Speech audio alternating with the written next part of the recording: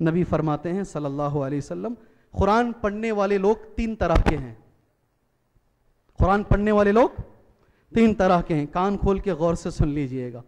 एक मोमिन, एक मुनाफिक और एक फाजिर, नबी ने नाम लेकर कहा।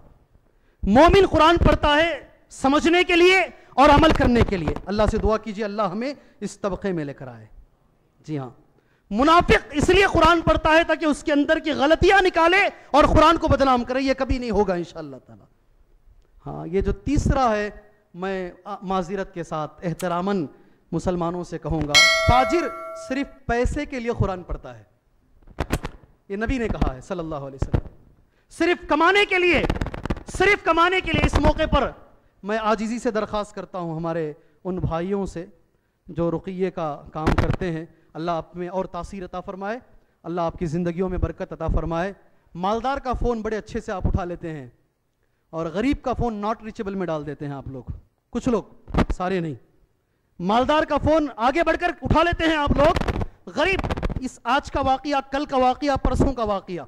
गरीब का फ़ोन कुछ मिलने वाला नहीं है वहाँ। कुछ पैसा वैसा मिलेगा नहीं।